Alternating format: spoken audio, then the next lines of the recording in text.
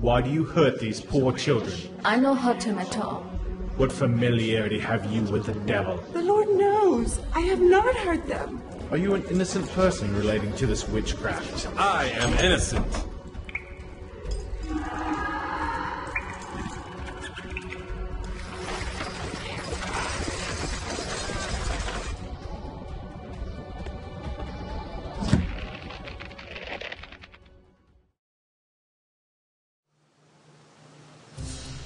I'm a historian of American religious history, of Christianity primarily in America. I teach all of that in various ways, but for the most part I write about the 17th century here in New England and also in England. So I'm a transatlantic historian. Witchcraft, of course, goes back to Exodus. There's a sentence, don't let a witch live. And then in late medieval Europe, it was revived uh, really as a major issue. It was an issue in, in, ancient Israel as well, which is why it's in the Old Testament. So the colonists were being perfectly ordinary, doing the ordinary, usual thing when they had their inquiries about who was a witch and who was not. Witchcraft is a primarily a legal process with a strong social base. So the social base is that in villages, towns, these are very small communities in early New England, people insult each other, and you insult someone by calling that person a witch. I came to Salem, um, and I spent about just about three weeks here, and did a lot of research. And there were records, you know, that you can only read in Salem. So there were records of what were called the examinations, which were the pre-trial hearings which uh, are very full. I mean, it's wonderful that we have all those records.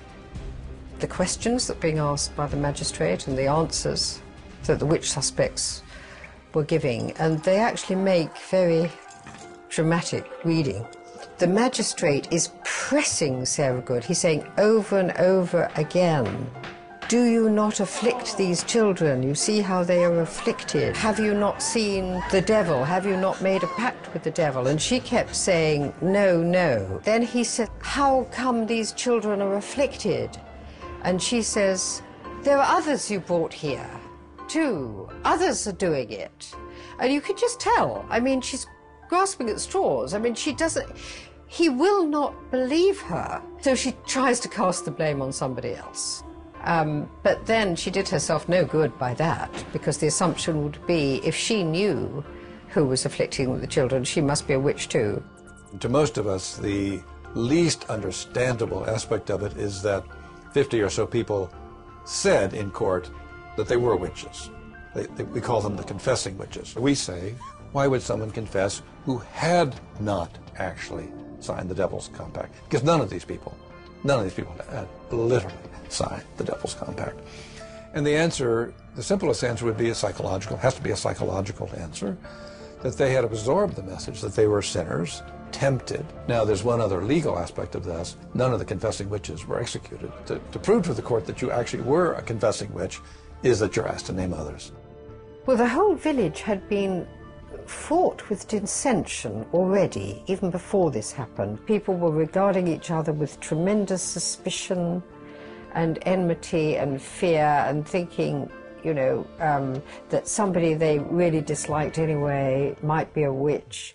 Or even if they weren't, you know, wouldn't it be good if they were named as a witch? Because that could lead to their destruction. Spectral evidence came up in the sense that a, a, woman or a man would testify to being tormented by someone whom no one else could see, uh, and people could change form, or the devil could uh, uh, insert himself in people and make them do bizarre things, but not, not legally a significant role until Salem. And that, of course, is the Achilles heel of the whole Salem process, the use of spectral evidence. It's fair to say all the girls, when it came to the examinations and trials, were shamming.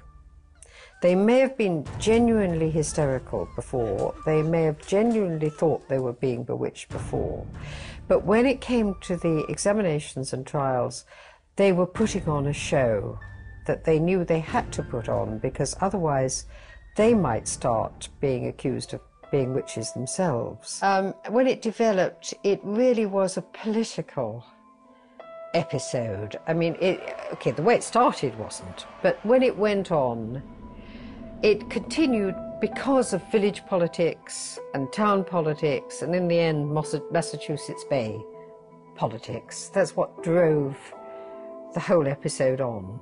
Very early, there was the feeling that judicial errors were being made. But how hard it was to stop this thing, I mean, that's, that's, that was the problem. Who had the courage to stand up and say, this is really a train that's run off the tracks? October is the last uh, session of the court, and then the governor of Massachusetts suspends the court because he's, he's aware something is not going correct. And then in January, the remaining prisoners are let loose.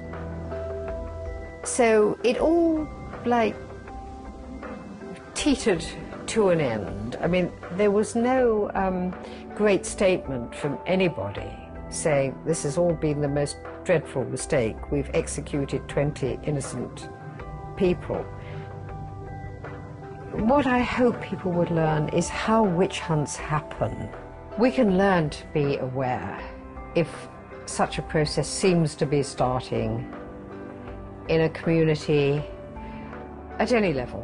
What it is about us that causes us to um, become fearful and suspicious and irrational in certain situations and end up causing terrible destruction.